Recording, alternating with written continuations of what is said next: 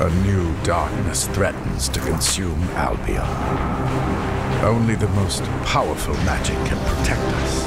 But beware. For once unleashed, this same magic may destroy.